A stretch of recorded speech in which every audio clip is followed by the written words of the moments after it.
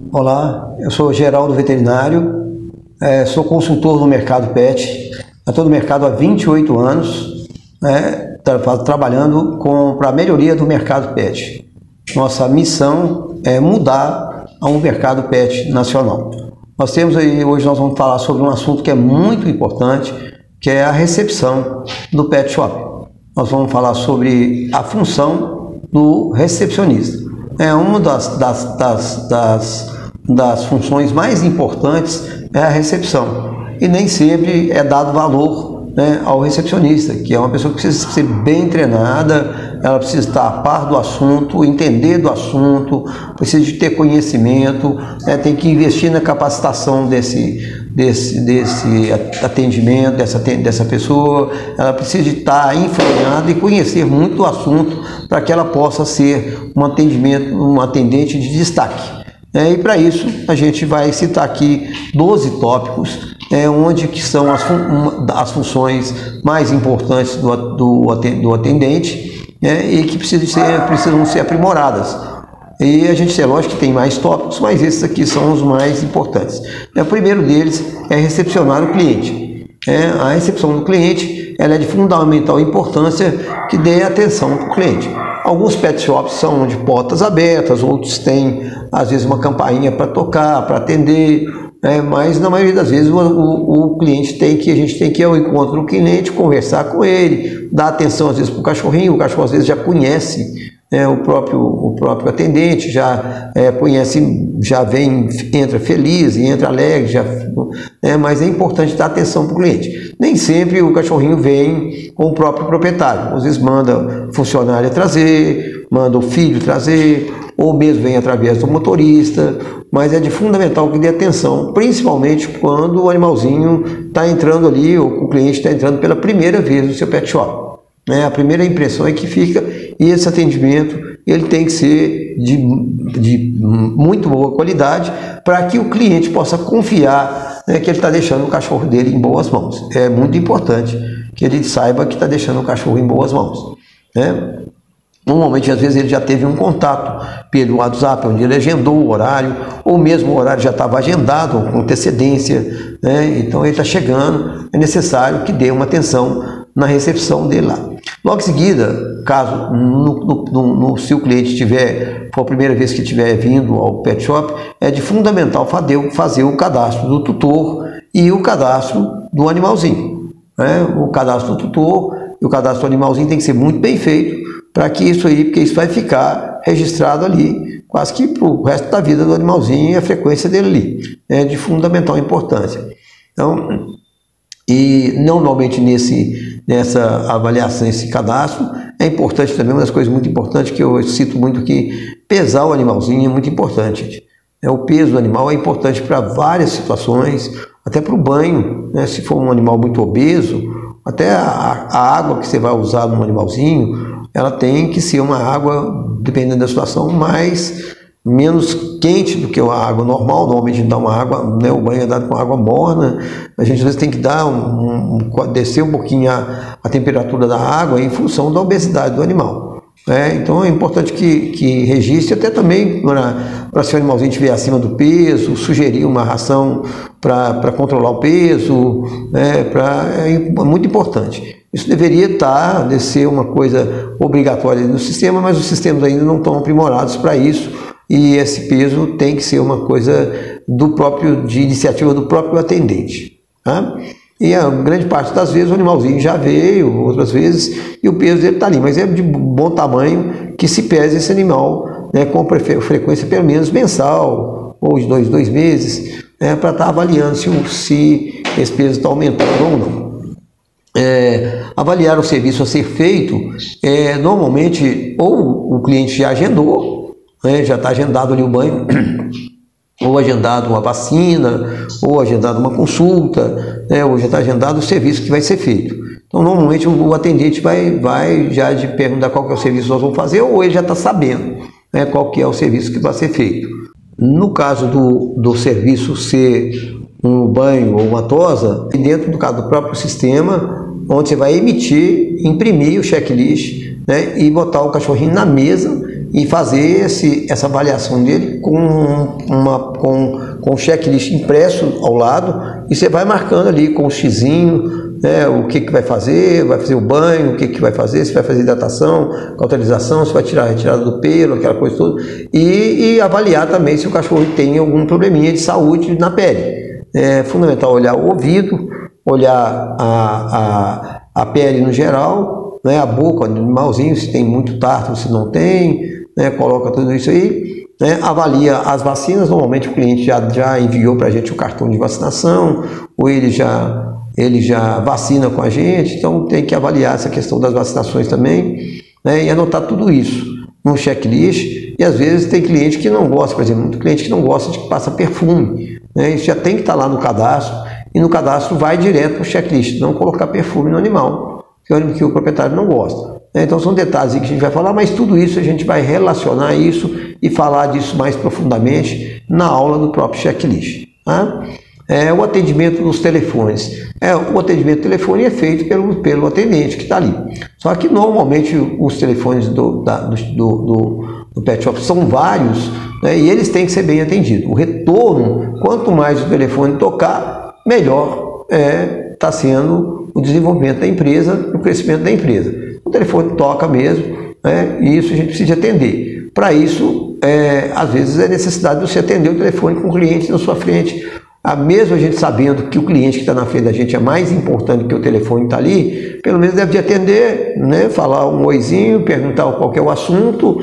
É, se for um assunto muito importante, a, o atendente busca ali para outra pessoa que possa ajudar a atender o telefone, resolver o problema, ou mesmo é, é, é, é pega um telefone de contato, ou às vezes já está registrado ali que ele ligou do celular mesmo, é, pede para que fala com ele que vai retornar, logo em seguida acaba de fazer o atendimento e retorna para ele. Né? Então, o atendimento telefônico, normalmente, ele tem que ser uma coisa muito bem feita e, se possível, haver um treinamento para o atendimento telefônico. Né? Normalmente se treina a equipe para aquele atendimento telefônico que às vezes a pessoa está buscando coisa que ela nem sabe o que está querendo e aí a gente tem que informar para ela o que ela quer. Né? Atender as mídias sociais, o WhatsApp, o e-mail e outros, isso é de fundamental importância, mas isso dá para fazer tudo no decorrer né, do dia ali. Né, chegou de manhã, olha o WhatsApp, se tem alguém ali interessado em algum serviço, responde para ali e dá sempre para fazer isso no intervalo entre o atendimento e entre o atendimento do cliente e o atendimento, o momento onde os clientes não estão presentes, o telefone não está tocando. Então é tudo é um conjunto de processos. Né? Para isso o atendente tem que estar bem treinado. E isso também nós vamos fazer uma aulinha sobre é, é, mídias sociais, mercado pet e mídias sociais. Nós vamos ter um tema falando sobre isso. Manter o relacionamento entre o cliente e toda a equipe do pet shop é de fundamental importância né? porque na verdade o atendente às vezes não é a pessoa que vai atender sozinho, às vezes é necessário. O cliente está buscando uma tosa especial, ele quer um tipo de tosa, ele tem que ter acesso ao tosador, vai ter que chamar o tosador para conversar com ele, para saber qual que é o tipo de tosa que ele quer, que ele quer fazer, porque nem sempre o atendente ele está preparado para saber explicar qual que é o tipo de tosa e como que é a tosa, e o cliente é, não sabe explicar nem o que ele, que ele quer direito, então é necessário que ele converse com, com, com o tosador, ou talvez com o banhista para ver alguma coisa específica ali, ou mesmo se tem algum problema de saúde, conversar com o veterinário. Então, uma equipe tem que estar bem entrosada para fazer esse, esse atendimento bem feito. Gerenciar e executar a agenda do cliente, isso também é outra função do atendente, né, porque a agenda é uma das coisas mais importantes dentro do pet shop. Nós não vamos falar disso aqui agora porque leva tempo. Nós vamos ter uma aula exclusivamente para agenda, qual, como que funciona uma agenda dentro do pet shop e a agenda é a mola mestra do, da, da empresa. Né? Se ela não for bem feita, vai se perder dinheiro, vai se perder investimento, vai se perder cliente, né? porque é importante que a agenda seja feita para todos os serviços prestados pelo pet shop, né? pelo pet shop e pelo, pelo estabelecimento é, é, gerenciar, é, fazer as, os, os, acertos financeiros com clientes, isso é papel da recepção. Né? Tanto a autorização dos serviços a ser feitos, né? porque vai se fazer o serviço lá e precisa de autorização, né? porque às vezes o cliente vem para um banho e está com outros problemas, vai gerar ali uma consulta, vai gerar às vezes uma vacina, tem que fazer outros serviços é, e, e o que o cliente precisa, e é de suma importância que o atendente tenha essa acessibilidade e saiba captar as necessidades do, do, do cliente, principalmente as necessidades do, do, do, do cachorrinho mesmo, que às vezes está sem uma vacina, de raiva. Né? A gente teve agora recentemente caso de, de, de, de, de, de dono de pet shop que foi mordido por um gato e chegou a óbito. Né?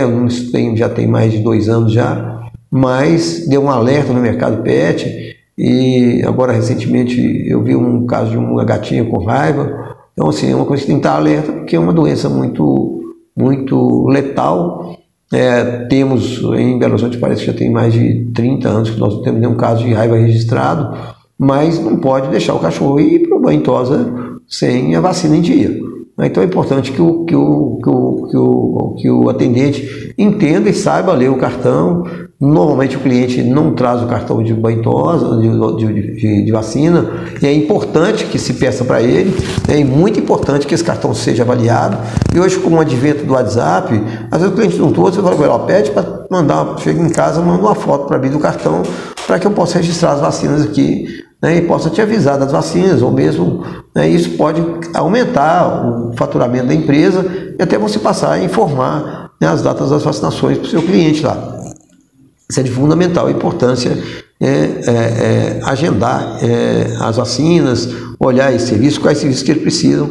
Então, esses acertos financeiros, eles devem ser feitos pelo atendimento. Né? Mas para isso tem que ter a aprovação primeiro, autorizou a fazer os serviços, no final serviços prontos, mas fazer o acerto financeiro, ele vai ver se quer pagar no cartão de crédito, ou se vai pagar com Pix, se vai pagar hoje no, na transferência eletrônica, ou se vai fazer ali um pagamento é, é, é, em dinheiro. Então, isso é função da recepção. É outra função da recepção aqui é enviar os exames laboratoriais. Né? Normalmente o Pet Shop tem uma parceria com o veterinário, tem a parte lá de atendimento veterinário né? e é na, na hora, no momento da consulta ali, é coletado material para exame, né? raspado de pele, é, exame de sangue, hemograma e companhia limitada, e isso quem envia, na verdade, é o próprio, a própria recepcionista. O veterinário, o veterinário coleta, passa isso para a recepção, a recepção vai enviar isso para o laboratório, já tem os laboratórios parceiros, normalmente os laboratórios parceiros, é, cada, cada pet shop usa seus parceiros lá de acordo com a sua com a orientação do veterinário, mesmo do, do próprio proprietário do laboratório, do, do, do, do pet shop, e vai enviar isso de acordo com o, o que está na planilha que o veterinário prescreveu, né, imprimir a receita, é, é, olhar se o proprietário quer levar os medicamentos do próprio estabelecimento ou se ele quer comprar em outro local, né, isso é fundamental, né, conversar com o cliente para ver quais são a, as, as as necessidades e o que ele precisa ali naquele momento, momento do atendimento. Mas é de fundamental que esses exames né, vão para o laboratório no dia, no mesmo dia da coleta, é, normalmente é, ou no dia seguinte, né, ou armazena na geladeira, mas é responsabilidade do atendimento preocupar e organizar esse envio, não só enviar, mas como do recebimento das respostas dos exames que foram né, e quais foram os resultados dos exames para passar para o veterinário, para o veterinário conversar com o proprietário no retorno da consulta. Normalmente há um ajuste, né, o, ajuste é muito importante. É, é, o outro ponto importante que é assessorar o consultório veterinário.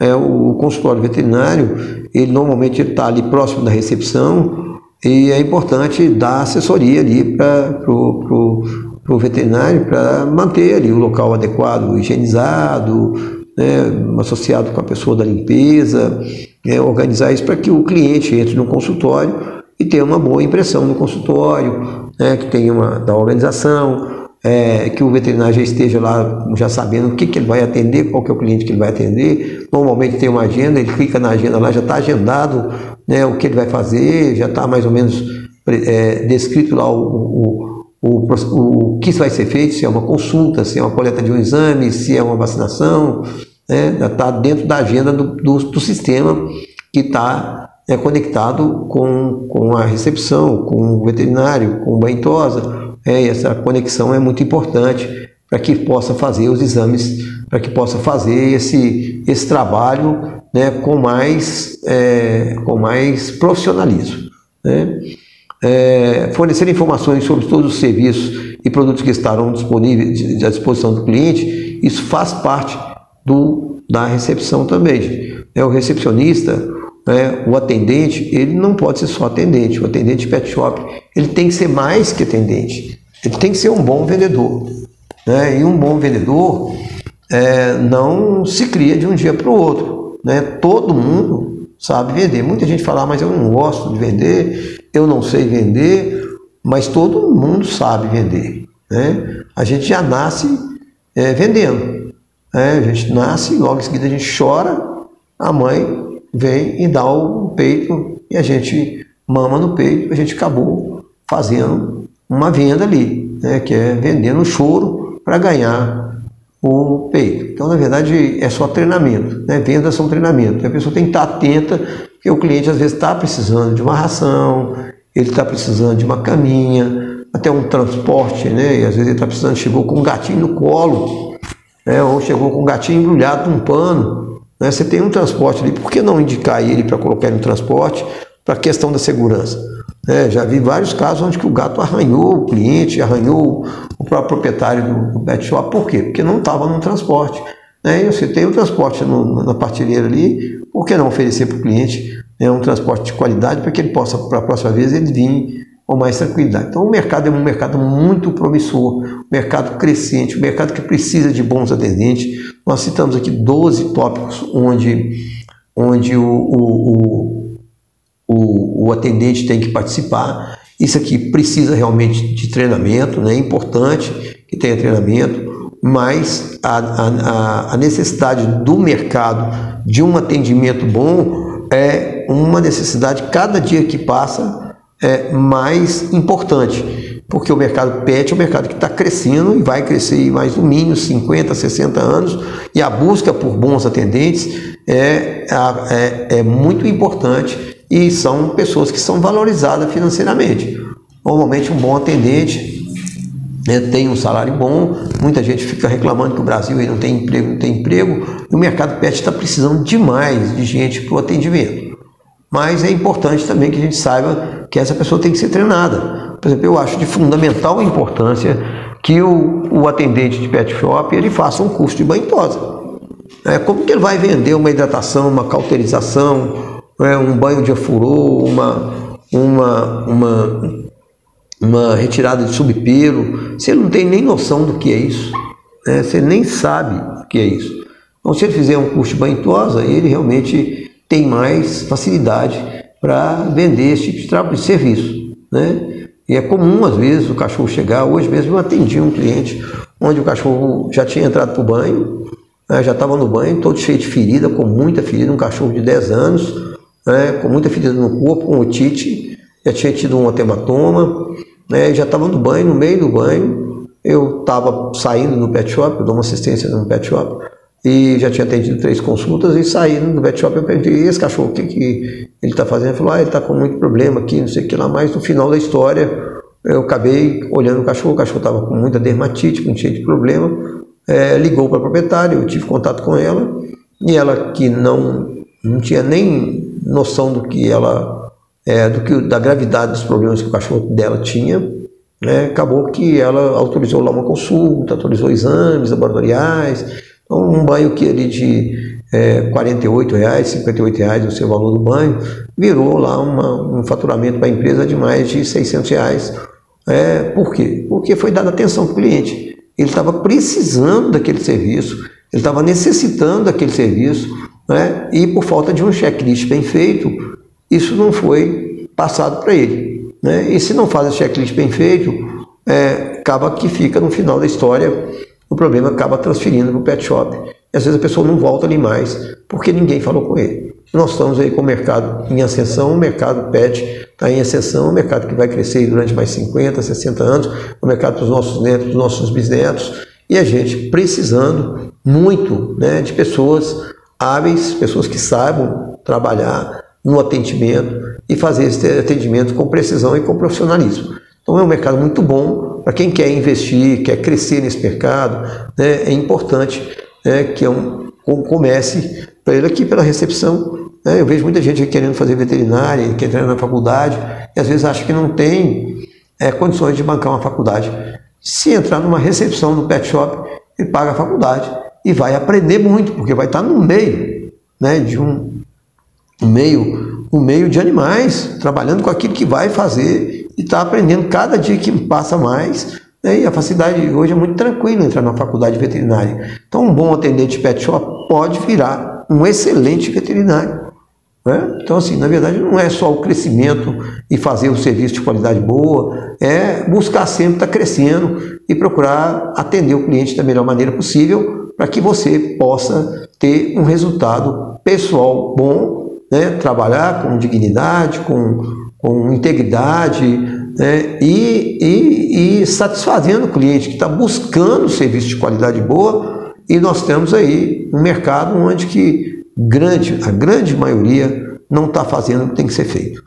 É por isso que às vezes muita gente reclama no mercado pet, a gente vê várias reclamações, porque o serviço não está sendo feito, né, tendo essa, essa importância né, que, é, que deveria ser, porque o cliente nosso hoje, ele faz parte da família, né, ele é um, é um membro da família. Se ele não for bem atendido, você provavelmente você vai perder o cliente.